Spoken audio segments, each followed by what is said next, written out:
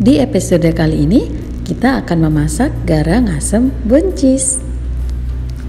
Simak videonya sampai selesai.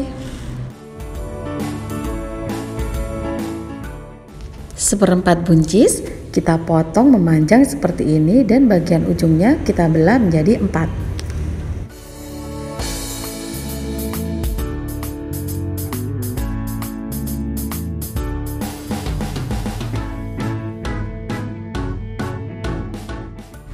Untuk bumbunya sangat sederhana.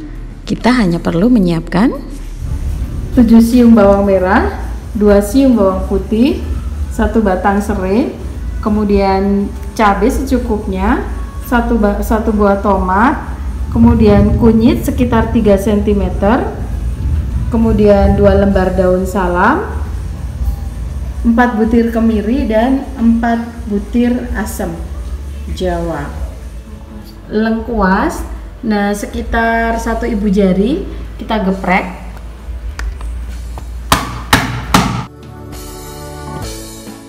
Semua bumbu kita haluskan kecuali serai, daun salam, daun jeruk, dan tomat.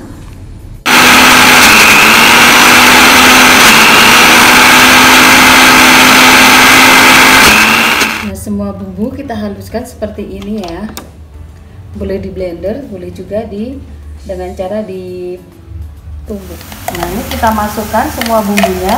Kita tidak usah menggunakan minyak karena tadi memblendernya kita menggunakan minyak ya guys.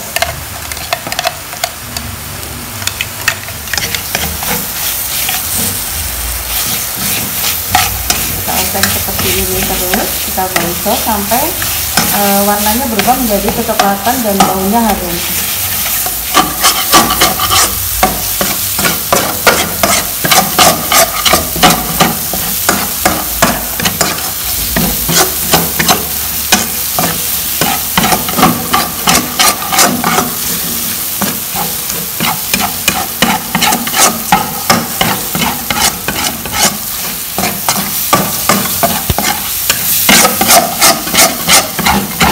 sudah menjadi berwarna kecoklatan seperti ini kita masukkan air.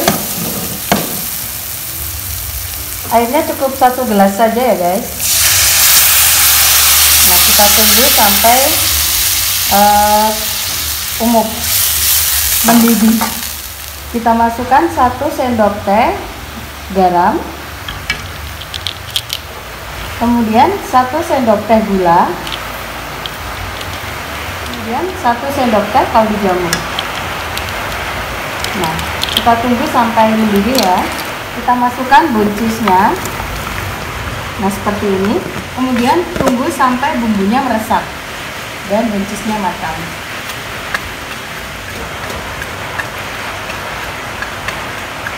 Kemudian kita masukkan tomatnya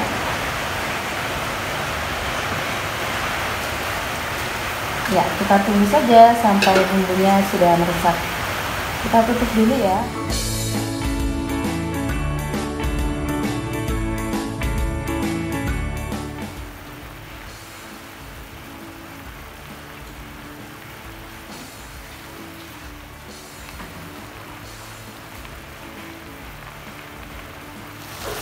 Nah, ini sudah meresap dan airnya sudah menyusut kita tinggal angkat ya guys